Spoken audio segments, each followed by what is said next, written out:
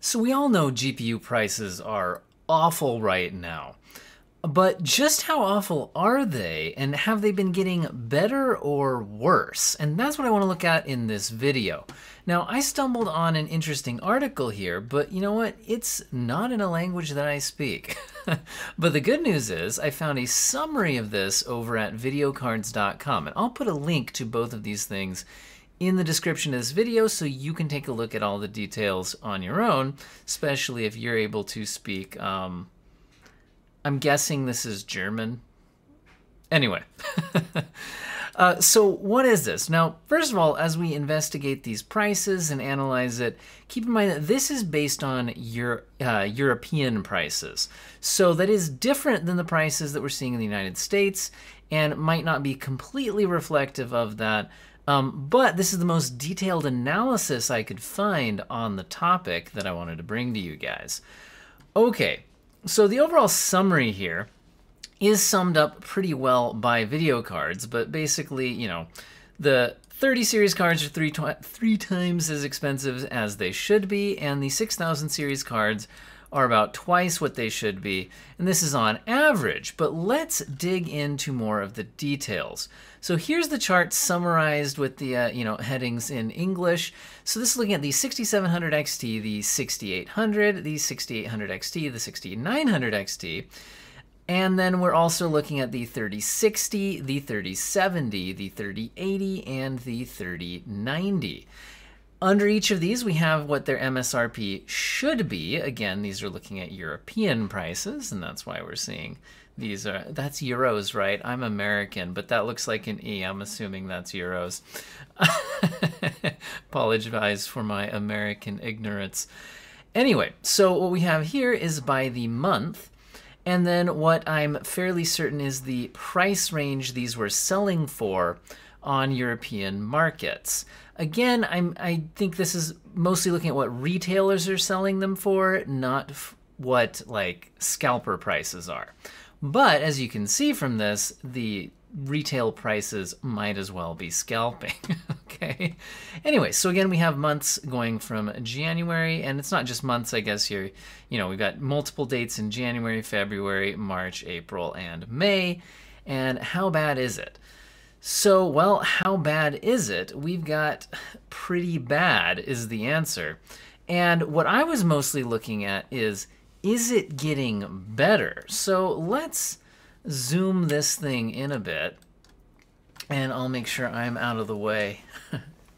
uh, I, could, I could even move my little uh, camera thing. Would, would I be better on this side?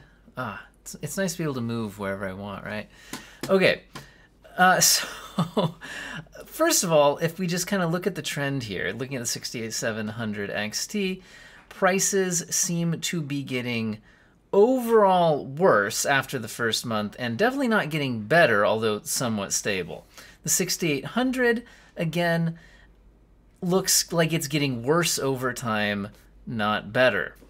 The 6800 XT looks like it's getting worse over time, not better. Although we do kind of see, at least right here, we had maybe a, a lower end version available for a bit, uh, but still way above the MSRP. And the high end is still getting worse, not better. 6900 XT. We're looking at the low end again getting worse, not better, and the high end also getting worse, not better. Excellent. This is what we love to see, isn't it? All right, the 3060 hasn't been out for as long, but it's getting worse, not better. The 3070 is getting worse, not better. And the 3080 is getting, um, you know, pretty stably bad, I guess might be where I'd put that. Although right here, we're only seeing the uh, 3,000 euro price right there, which is worse. Okay, and the 3090. Yeah, that's, I would put under the category as getting worse, not better. Maybe, you know, anyway, at least stably bad here than the last little bit. Okay, so my summary from all of this if we were all hoping that by mid 2021 the horrible prices would be starting to come down and stabilize, that is clearly not the case. I don't see anything on the horizon pointing to things getting better.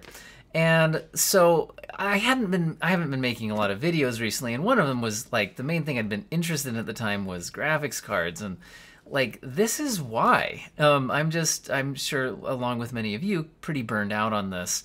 Um, so my current plan is to just kind of hope the 4000 series comes out um, maybe not with better stock necessarily but maybe some some of the supply with the pandemic and the and the mining craze maybe will have died down a bit. I don't know but right now i'm hoping my trusty 2070 hangs in there a bit longer because yeah this is absolutely nuts and like i said seems to be getting worse and not better. I hope you guys still manage to have an excellent day